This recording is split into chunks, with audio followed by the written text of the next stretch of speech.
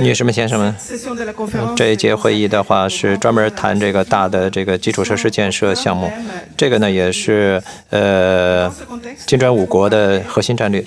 在这个方面的话，我要讲一个这个德国的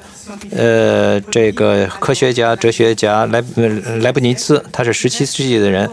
谈一下他的一个大的计划。他的这个这个设想的话也是非常典范的作用。在这之前的话，我再谈一下这个有关大型基础设施的情况。因为基础设施的话，肯定是呃一个国家这个工业发展的基础。呃，如果没有这种大型现代的这个基础设施，包括交通、能源和这个水的方面的话，那谈不上进步。但是这些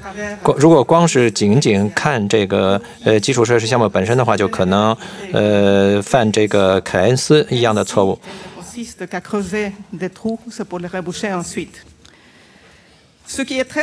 有一点呢非常重要，就是呃呃，金砖五国的这个呃战略当中特别重要的就是大型发运机，呃这些大型的发掘机、起呃吊车，它呢只是一个人类这个创作天才的一种具体表现，它呢和改造。呃，这个就是说，通过和自然这个进行变革，改造人类社会的。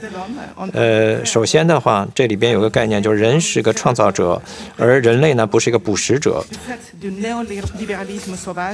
这个的话，因为这个捕食者的呢是那种叫新的自由主义、野蛮新自由主义的一种体现，所以呢，金砖五国的这个战略呢，呃，它呢也是对于人类文明的一种高尚的看法。就是要建造一个高尚的社会，在这个社会里边呢，所有的国家民族，不管它的这个规模，它的这个都可以参加这个增长。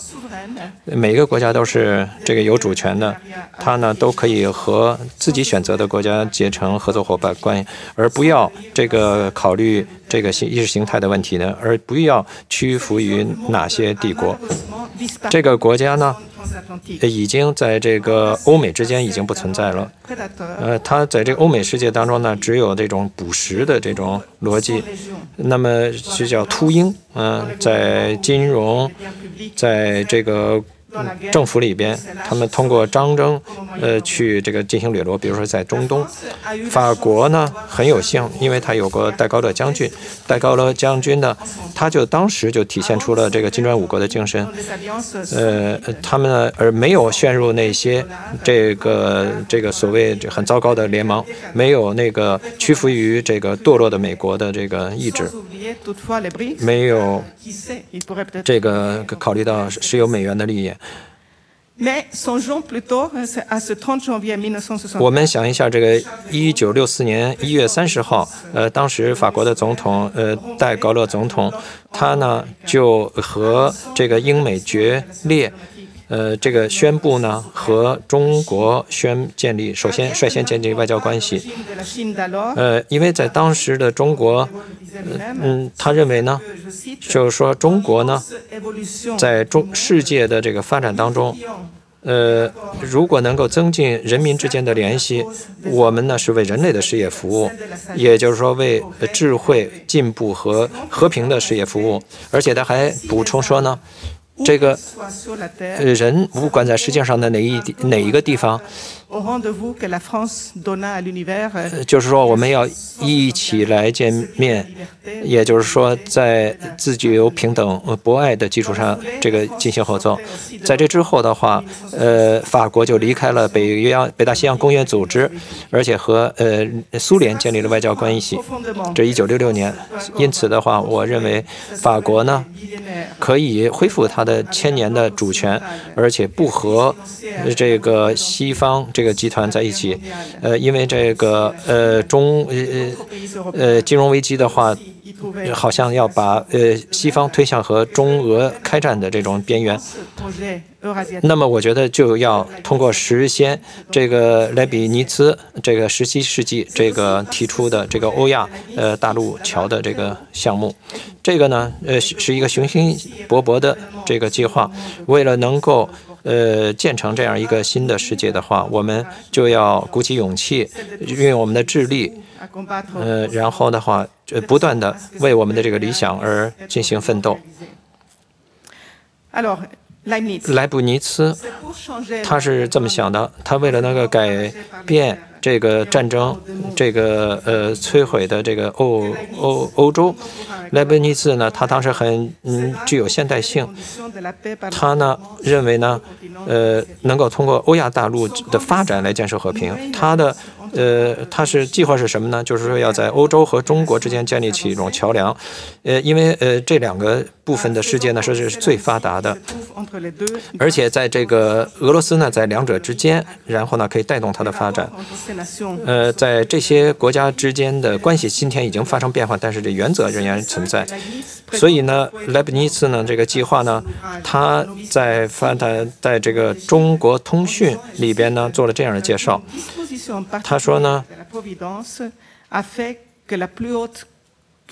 也就是说，人类呃最崇高的呃文化和文明就在欧亚大陆的两端，也就是说欧洲和中国。也许这个最高的这个上帝的话，这样向这个最发达的国家伸出了手，也是最远离远最远的国家，也就是说把中间的这个地带也都带动起来。呃，那么就包括俄罗斯，呃，这个 Libres 就是这么想的，在欧亚大陆的两端，欧洲和呃中国应该互相这个呃握手来带动中间段。所以呢，莱布尼茨呢，他是这么想，呃，他呢很有兴趣，也就是说，呃，彼得大帝和康熙的话，两个都愿意向欧洲开放，也愿意在他们的各自的国家宣传欧洲的这个一些先进的东西。为了能够建立一个特殊的关系和这两个国家元首，莱布尼茨呢，他就是就试图改变这个历史的进程。他呢见过这个彼得大帝呃三次，这个就是一九一七一年、一二年、一六年，而且成为他的沙皇的这个顾问。他呢呃沙皇要求他帮助他的人民脱离野蛮状态，而康熙呢，他和康熙没有直接的关系，他是呢通过这个耶稣会的教士建立。联系，因为耶稣教会在中国已经工作了一一百十年，呃，他呢给这个呃皇皇帝提供一些科学方面的这建议，就是这个是康熙来比尼茨，所以呢，当时和呃耶稣教师呢进行了通通信，呃，特别是呢五个法国的耶稣教师，他们呢一六八五年去做那个康熙的这个顾问，这个数学顾科学顾问。他当时写了一些这个呃回忆录，呃，这个莱比尼斯的话，呃，现在呢都呃有收藏，呃，所以呢大家可以去阅读一下。在他的建议里边呢，特别是要考虑要让所有有能力的人，所有的行业的人吸引他们起来，然后要教育他的臣民，特别是年轻人，呃，教会他们创造，呃，教会他们这个呃看到过去的这个成功，然后这个嗯把很多的这个文科学著作翻成呃俄语。呃，然后在莫斯科、呃、呃彼得堡、基辅都开办学校，要建立图书呃馆、这个观察所、实验室，呃，然后在呃呃呃，他先于德呃英国人一百年发明这个开始试验这个蒸汽机。呃，而且做了开办了实验室，在实验室里的话，他们对火进行了研究，把火的技术用于矿藏，呃等等，用于炮兵。呃，就像就像他所说的那样，火应该是这个最强有力的这个因素之一些。呃，他呢还主张很好的呃开发河流。比如说，可以把呃伏尔加河和顿河连接起来，或者在尼泊和伊伊蒂斯也也要开看运河来运送这个呃食物和这个开发这个沼泽地。然后他在中国做的事情也是这个各个民族国家之间合作的一个典范，而不是像西方那种做样那样，不像那种颜色革命所着那样。嗯，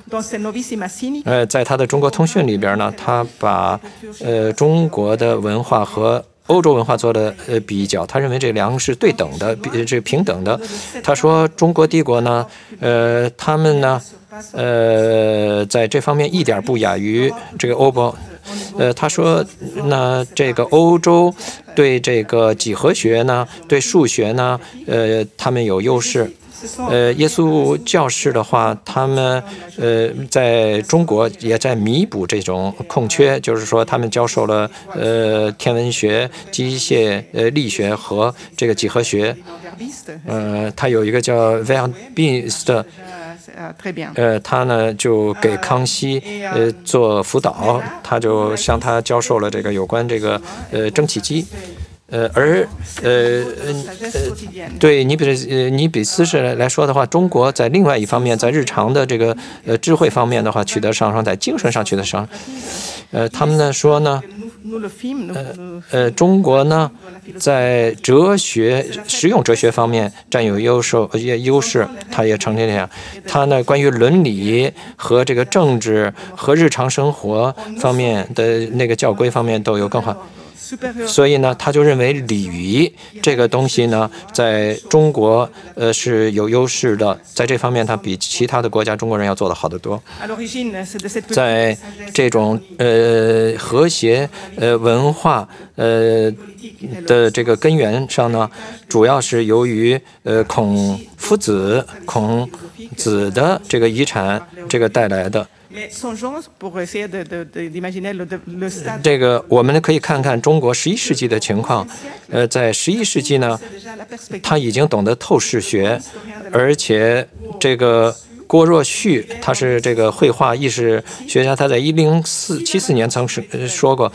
他说：“一个人的精神道德的高的话，呃，他的内心世界的话也肯定是非常丰富。因此呢，他的绘画也会充满了运动和生机。所以从这个角度上讲呢，这个最高的这个精神作者的话，他们呢可以和达到这个精髓的最高境界。”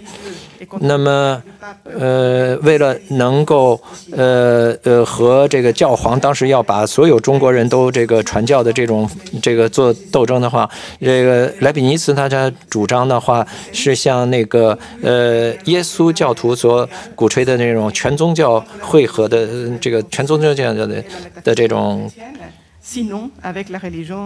做法。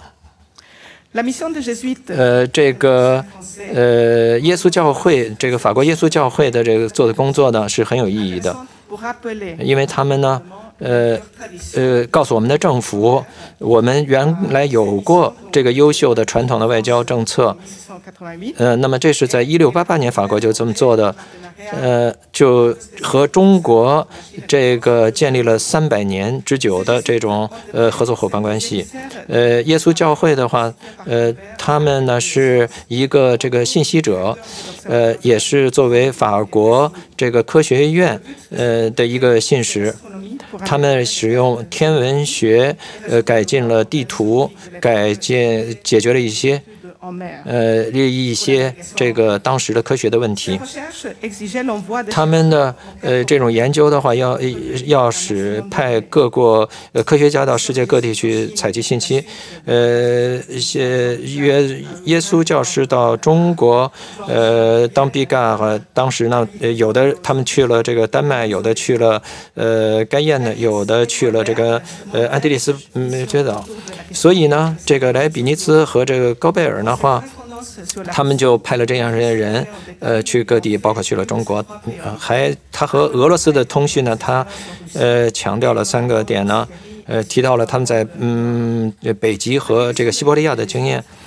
呃，所以呢。当时是由这个方丹奈神父领导，呃，来去加西尼的这个这个耶稣呃这个团，呃，有这些人参加了。呃，那么他们一八六呃一六八五年来到中国，在他们他带去了什么呢？呃，带了这这个呃地图的地球的卫星图。呃，而而且还带了一些先进的机器，呃，带了一个这个机械呃地球仪，还带了可以模仿所有的星球行星的运动。可以模拟，而且呢还带了一个日食月食模拟仪，它可以呢准确的预测出哪年哪月哪日将出现日食或者是月食。这样的话，呃，这样呢，这它的这个精度也可以确定的更加精确，精度和纬度。因此呢，作为结论，莱布尼茨的话，他当时希望中国希希望呃呃欧洲，当时他希望能够中国派个代表团来呃欧洲工作，改变欧洲的这个情况。那么现在的情况是呢，现在我们面对一个中国，它呢取得了巨大的进展。而且的话，俄罗斯也重新恢复了它的世界的强有力，而欧洲呢，却像是一个病人一样。我呢，现在看到这个提出的新丝绸之路的这个计划，我想呢，这个欧亚这个联盟可以让法国和欧洲振觉醒起来。能够让它对他的自由的幻想呢，呃，梦想有一个新的维度，能够有一个主权，是走向进步，呃，科学和人民的这么一个这个方向。这个呢，就要看我们会议之后能采取什么样的行动了。